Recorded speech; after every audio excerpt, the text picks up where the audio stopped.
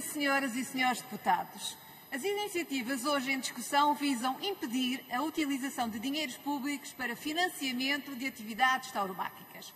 O grupo parlamentar do PSD respeita a diversidade de opiniões, mas entende que estamos perante um conjunto de argumentos que não corresponde à realidade dos factos. Dou alguns exemplos. Primeiro argumento. A tauromaquia é uma indústria que tem vindo a perder público ao longo das últimas décadas.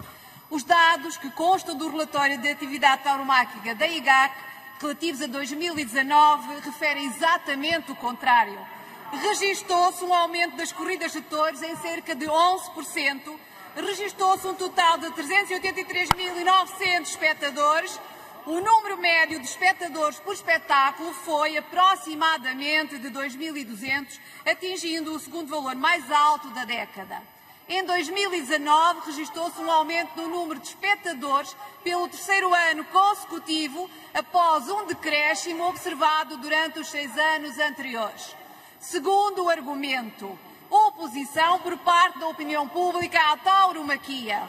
Em dezembro de 2019, a Eurosondagem fez uma consulta nacional sobre touradas. Senhoras e senhores os deputados, senhora deputada, só um momento, senhora deputada, desculpa, só um momento.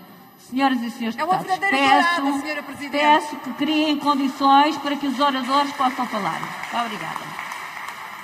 Aplica-se a todos. Dizia eu que em dezembro de 2019 a Eurosondagem fez uma consulta nacional, e friso consulta nacional, sobre touradas. Os resultados foram os seguintes. 86,7% dos portugueses não é contra as touradas. 70,5% dos portugueses considera que seria muito grave ou grave o desaparecimento das touradas. Naturalmente, senhoras e senhores deputados, que não me refiro a uma sondagem ZECA de âmbito local, com perguntas à medida das respostas que se pretende obter.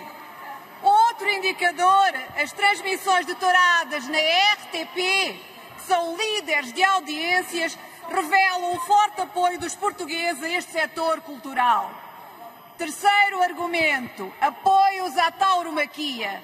Se existe atividade cultural que não é apoiada pelo Estado, é exatamente a tauromaquia, que não recebe qualquer apoio do Ministério da Cultura.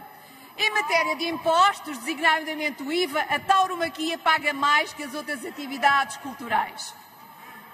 Pontualmente, alguns municípios apoiam atividades tauromáquicas, o que cabe exclusivamente na esfera da autonomia que lhes é conferida pela Constituição e na matriz cultural de muitos conselhos. Estas verbas constituem um investimento e não uma despesa, já que a tauromaquia atrai anualmente cerca de meio milhão de espectadores em praças de touros e cerca de 2,5 milhões nas ações populares de rua. Senhoras e senhores deputados, não existe qualquer financiamento europeu à tauromaquia. Podemos concluir então afirmando que a avaliação, termino já, Senhora Presidente, podemos concluir afirmando que a avaliação do povo português, em face dos dados que agora apresentamos, mostra bem que a tauromaquia constitui uma atividade de especial relevância histórica, cultural e socioeconómica em vários municípios e regiões do nosso país, pelo que terá de beneficiar dos apoios inerentes às demais atividades culturais. Olé! Muito obrigada, Senhora Deputada.